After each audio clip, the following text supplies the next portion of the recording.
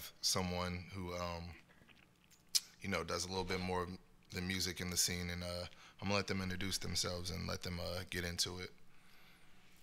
Hello, everyone. My name is Moon Magic. I'm a hip hop artist, MC, intuitive, and educator, aka the Hip Hop Witch. Um, also, the creatrix behind Word Wizards Medicine. And I'm kind of a little bit of a jack of all trades.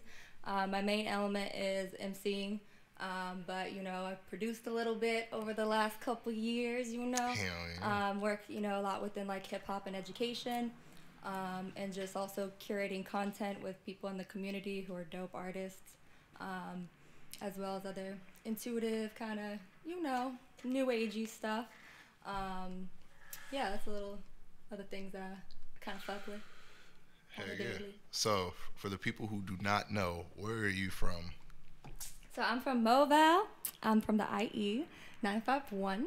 Um, I was born Let in. Riverside. Uh, grew up in Moreno Valley, which is right next to like San Bernardino and the IE. Went out to school in Pomona in LA County for college, and then came out here to Sacramento, and been out here ever since. So I really feel like a true Cali baby through and through because Most definitely. um, having lived in SoCal for a majority of my life, and then living in NorCal these last you know five to six years now. oh yeah, You know, like I just really love, you know, this entire state. yeah. Shouts out to California, you know, for having a lot of things to see, and shouts out to all the other states for having. Mm-hmm. All the nature. Yeah, I need to travel more. I've only been to uh, Nevada, so uh, yeah. Um, what I'm gonna go to Mount? Shasta actually for my first time, y'all, on November 4th. So if you're on Mount Shasta, cool. That's I will cool. see you all there for the um for you know tour date. I'm gonna announce soon, but yeah, keep your ears open for that. And I've never been, so that's another thing. I, I feel like there's so much in California like I still haven't seen or been to. Oh yeah, I need. I haven't even been to Humboldt yet. I haven't. There's Me a neither, not lot of Humboldt, nope. spots. I haven't. I haven't. I've been to. San Diego. Went San skydiving in San Diego actually. that was a cool experience, y'all. I need to do that because I was gonna go was on Lodi when I lived out there, but uh, yeah, no, they got a bad rap out there. Not no disrespect to that spot, but yeah. Um, besides that, uh, how long have you uh, been making music? So, my experience with music really started at a young age. Like, my grandma was always really into music. She was a director for her choir. She had like a piano growing up, you know. She like taught me how to make a song for like my parents' anniversary one time. Um, but not like seriously until uh, probably like towards the end of college time is when I started really being like, what am I gonna do after college, and what do I really, you know, what am I actually doing, Yeah. you know?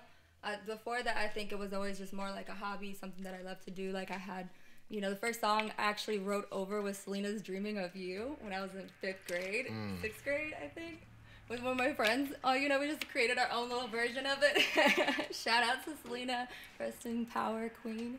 Um, Can't forever forget those times making those covers as kids, just hearing this song on the radio, just we had our own like cover band, and I was really into Totally Spies. Y'all don't judge me.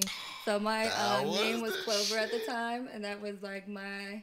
I wrote mad songs about my cat, my cat dying, oh, okay, that's and also like other family stuff, you know. life- yeah. So like you know, it wasn't until I actually got after school when I was like, man, what am I actually doing with things that I kind of like realized like it was something that I was so passionate about and you know wanted to dedicate more time and focus to. Oh yeah, that's a that's a journey right there. That's a journey. Mm-hmm. Past couple people, man, y'all been in this thing for quite some time. I hella respect that. It shows too, you know, just the structure behind what you guys do and everything. It's respect, man. And this is why I'm glad to have the guests that I have had on my podcast and the guests I will have because I get to know a little bit more about you guys, and you know, I feel honored to know because you guys are dope. I feel honored to know you too. You Hell dope yeah. too. Thank you, thank you. Y'all I check out that project with Man. Eggs and Chewy. Go check it out. But I got one coming out too with uh, it's- me and Dada dropping um October 31st, and then I got some more stuff coming. I'm Y'all trying to keep the young God mob. yeah trying to work with out. a lot of the local talent, man. Just, there's too many dope motherfuckers out here. Um, Mhm. Sacramento's booming with talent, y'all. for surely, for surely.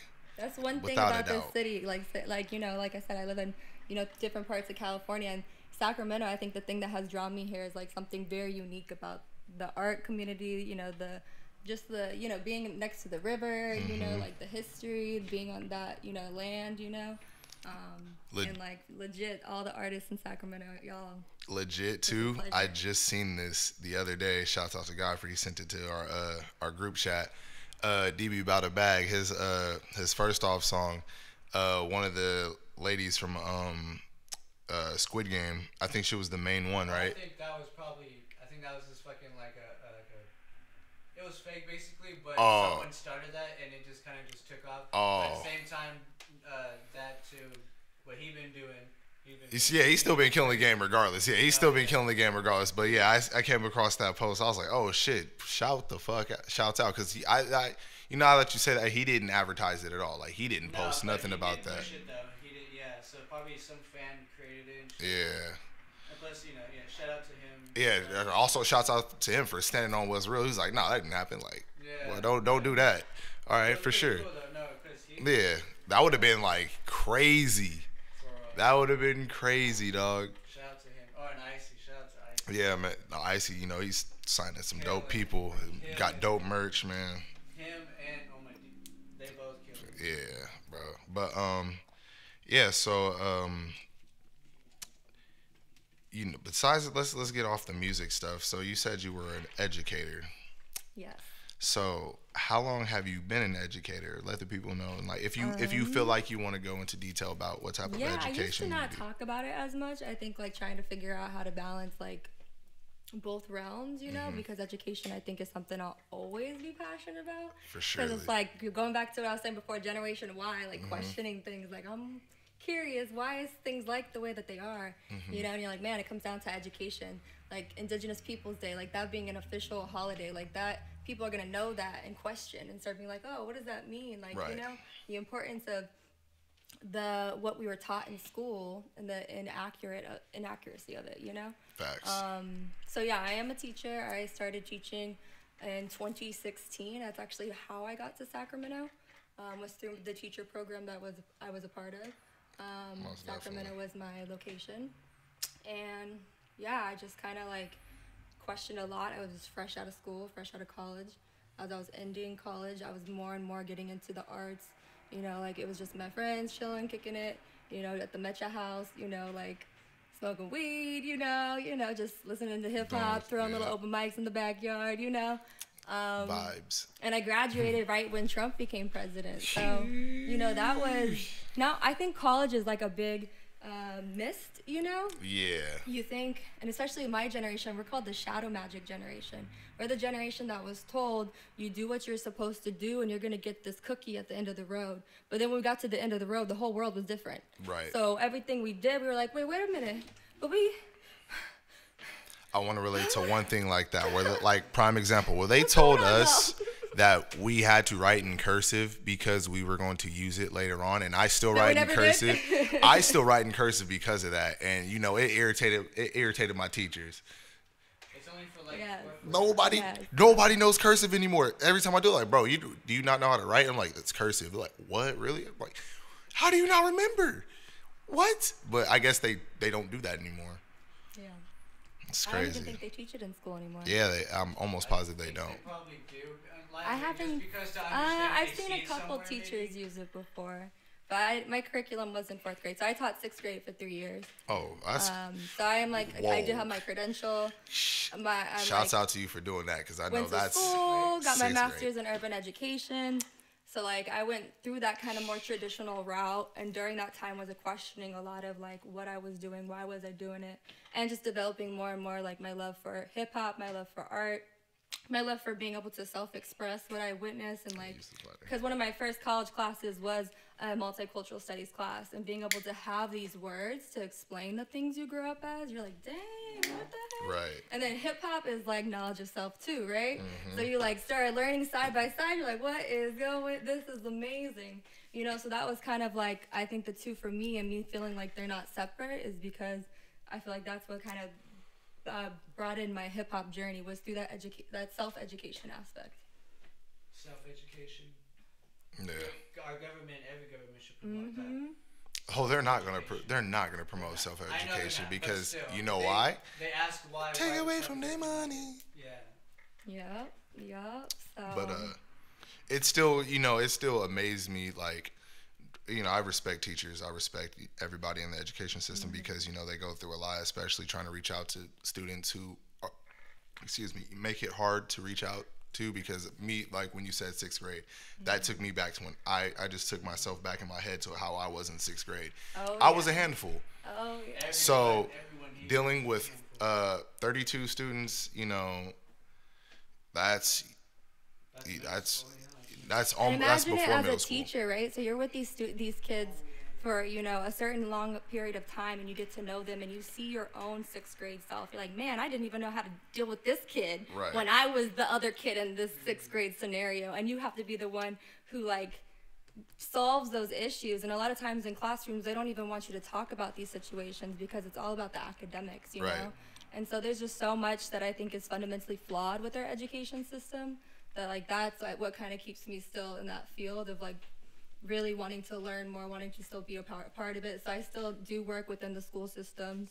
Um, and it's always a blessing to have teachers But I like left you it honestly full time because it's it is like there are a lot of things that I think are fundamentally flawed currently with the system, and it's you know hard mentally. Salute to all our teachers out there. Nah, you for know, real. like for reals, like and I want to give a special shout out to Miss Campbell. I still remember you from sixth grade. That was the first legit first vegetarian I ever met in my life, and like she like she taught us a lot like about like it was wasn't necessarily the curriculum, but you know she would try to sneak in her little stuff time to time, not to necessarily sway us to be vegetarian, but she would let us know like you know what was in the food that we're eating and she kept it mm. real with us and she would mm. just educate us because they actually do care.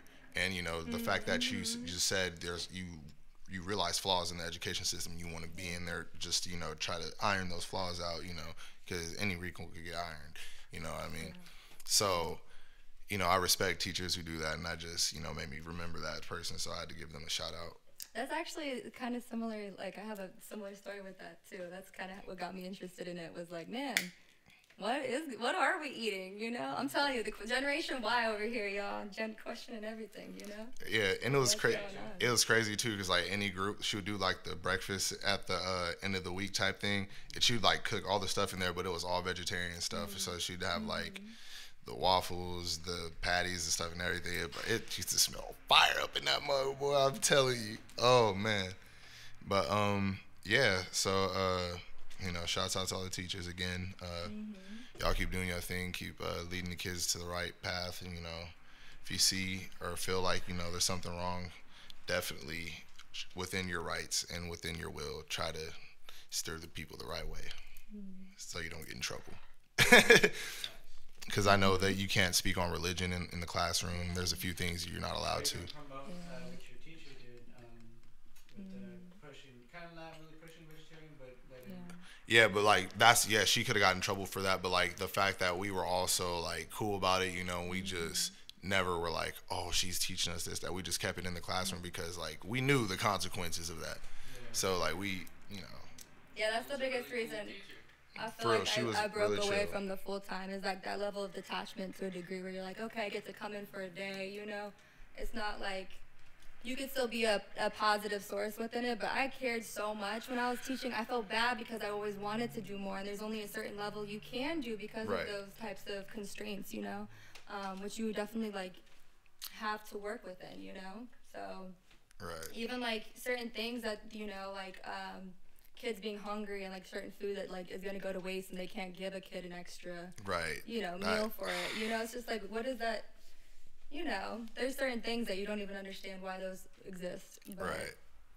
It's crazy. It's it's a crazy world we're in, but um, nah. So uh, we're gonna get to the random stuff now. This is the random side. All right. I had. I'm trying to remember. I don't want to look at the notes, but I'm. I'd like to be in my head with it. Um, I had because all my questions are kind of like. I have one that's usually general, and then one that's directed specifically for the person I'm interviewing. So with you. What, what, what, which one am I going to do? Which one am I going to do? Okay, we could do that one. If you could choose any spot any spot to own, let's say four acres of land, where would you move to own that four acres of land, and what would you do with that four acres of land? You're joking. You're really asking me this. Yes. That is crazy. No. This is wild because I feel like this is a question that like who really would ever think about that and actually have an answer to. And I swear maybe within the last two weeks I actually had that answer. Oh my goodness. I would give it to the Temple of Hip Hop for sure. That's what I would do. I would give it to the Temple of Hip Hop. And I would want to build that to be under teacher care so and have him be able to use it. That's what I would do. And be part of that work. Hell yeah. I'm gonna have a four acre fighting ring. Like the cell games. It's real. I'm joking. I'm fucking joking. You gonna have fighting ring? Nah, I'm joking. That was a joke. Boy, No I way. sitting in the middle of the ring waiting a week for motherfuckers No to show way. up just for nobody to show up. I would be mad as fuck. Dang. Oh shit. Nah, I would probably like have like a studio. Um definitely I would probably use one acre specifically for the studio and have make it a mission to get there just so I know for a fact no outside sounds are affecting anything. I'm gonna have that motherfucker soundproofed everything. Um I'd probably have a garage like more towards like cuz I'm going to have a gate obviously, a gate around the 4 acres. Have a garage probably like a quarter mile and then like from there you park your car, then have little go karts and shit just to get to the main house. Like have a little pathway like Mario Kart type shit. Yeah, could you fun. imagine if you just had a city full of like hip hop studios though? That would be That clean. would be cool. That's what I'm talking about. Wouldn't that be cool if we just had like a city, y'all, a city of just a bunch of hip hop. Hip hop was everywhere. That real. would be so lit. Like there's just studios. You know what I mean? Like studios are like parks. That would be so dope. That would be freaking lit. Yeah, but I would want to cruise around that town. hell yeah, for sure. Ride down a skateboard. Right, just like what studio am I hitting today? Gonna have to bust out a longboard because I suck on skateboard. I'm not gonna lie. Oh, yeah. I was a longboard person myself, even though like I could do a few tricks on skateboards, but like I was, I I wasn't really trying to do hella kick flips and shit and like bust my ass. I got into making longboards though, like getting the deck, swap, do all the building and shit. Like I got into building boards. And that's where it was like. I don't know. It's like weird. I'll get into shit and then I'll like to get into the technical side of shit, like music. I started with mm-hmm. poetry, then rapping. I was like, fuck it, let me get into producing, mixing, and mastering. It's like I don't know. I get too technical with shit. I need to chill. I need to chill. like it's all art, right? You know Yeah. what I mean? Like, but I should just enjoy the the basic side of shit sometimes, you know. I feel it. All right. So um uh we uh where where was the second one? Oh yeah, this is the random one. This is the the random one. All right. Um A random one. Yeah. So would you rather All right. You already got me thinking. Would you rather be able to read everyone's thoughts for an hour or not be able to speak at all for an hour?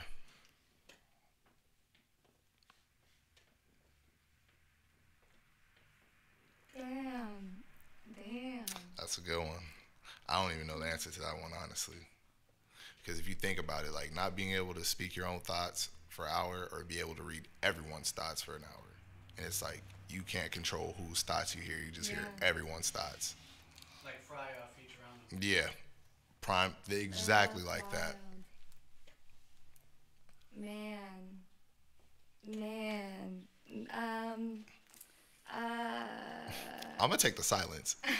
I think I'm gonna go with the hour of silence because I think if I'm around some wild motherfuckers who be playing their cool and I really hear their thoughts, I'm like, yo, That would I be would just be looking at them like, I just am trying to think about is it gonna be one of those scenarios where I hear like ten voices at Mhm. one time Yep. and it's like no, I would Mhm. I would take the silence if that was the case. If it was like uh, you know zoning in here like you know like an eagle, then maybe you know maybe. Hey, maybe you can. But if it was like all at once, all right, we could we could we could narrow it down. Every anyone you look at, anyone in your like peripheral. So like if I'm looking right here, I'd get Yum's thoughts and Godfrey's thoughts.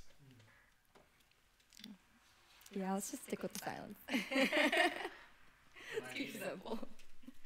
I don't know. That that might be cool because if you don't, you know, you don't see anybody, but they're still in your like peripheral type thing. You know, they might be trying to like snake you on some some ninja shit. You know, you hear their thoughts like, oh, look at him, he's back. That might help. I don't know. I'm random. I'm random. but um, nah, yeah, that that yeah, silence is the whole room. got some good questions, y'all. Silence is the whole room. Hell yeah. Um, and then of course, the main question that everyone, every hip hop artist or every fan of rap, hip hop, or music in general, who is your in your top five, Damn. if you can name them? Because a lot So of people. KRS One definitely, you know. Um, Eyedea, Eyedea was probably the person who that definitely was the person who got me into rapping. Like me actually being like, man, I want to be an MC. Like specifically, I want to figure this shit out. Um, Eyedea is just ooh, firstborn broke my freaking mind, and then his battling skills. I mean, yeah. Definitely, definitely. Uh, Sa-Roc, the goddess MC, I think she definitely would be up there for sure. Um, Gavlyn and Gav- like that whole crew of underground women. I think like you know Blondes, Brixton, Bell, Reverie, Gavlyn, um, and does Erykah Badu count? I Yeah. mean, you know, she is technically the mom of hip hop, right? She counts. Erykah she counts. Badu for sure. She Like counts. That's Right. that's mom. Erykah Badu. um, yeah, so I think just Badu for obviously soul uh, and level level of an artist, like her artistry. Um, definitely, that kind of like that level of like wanting to do art on a level of like more artistry than just like oh, okay, I'm gonna do a video and I'm gonna be just rapping. It's like how Right. can I take it to a, a, that kind of level? Right. um, Erykah Badu definitely was like a lot of inspiration behind like the Colors video and me wanting to do something that was really out of my element of like body paint. okay. I'm gonna be body painted and go in front of this camera. I did not know Um, that. But yeah, it's the level of the different artistry, of, like wanting the message and the concept of that song to get across. And she definitely is a big inspiration. That is um, I've never heard that top five ever. And ever. when I got to meet her, y'all, I told her I love Ever. her, and she said I love you too. And I thought that she, I believe she meant it, y'all.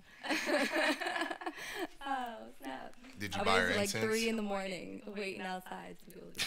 Did you buy her incense? Um, I have not, Okay. Yeah. but I should, y'all. I should. I'm, I, your boy uh, thinking about Calvin. I don't know. I have my Jill Scott versus Erykah Badu versus shirt though. Ooh, That hey, thing, that was fire. that was fire. That shit was fire. These versus battles have been. Man, KRS One, Big Daddy Kane on. that yeah, that's that's gonna be the cause people yeah people so sorry. man, Big Daddy Kane. A lot of people forget like he had a whole fucking movement f- for like a solid minute. So did fucking KRS One though. So it's like Yeah, they've they've done so much for the culture. For real. sure. I was just I didn't I wasn't expecting that matchup though. What makes you say that? That was like a random one for me because it's like I was you know it's I don't know. It's like Because no one can go against KRS One. Like they out, you know, I thought they probably would have put Papoose up against him or something like that. Like that might have been like, I don't know. That's just me. That's just me. This might be dope though. Like I don't know, cause like the same thing with uh, Fat Joe and uh, Ja Rule.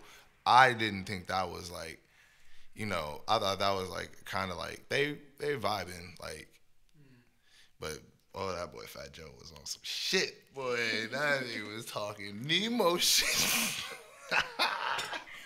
That they want to relieve, you know, rather be your Instagram, music videos, uh, any albums or songs you're about to drop, any, you know, websites, anything merch, you know, let the people know.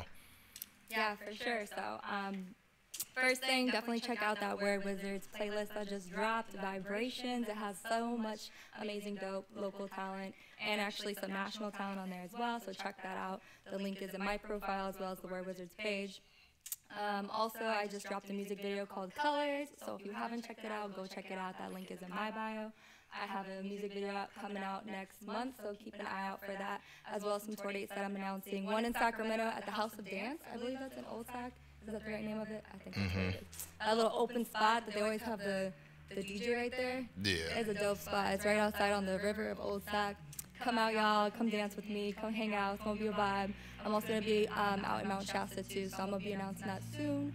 And follow me at at Moon Magic Flows um, on Instagram and all social media platforms. To. This has been Smoking With X. And you know, where we always talk about that real shit. Oh, yeah.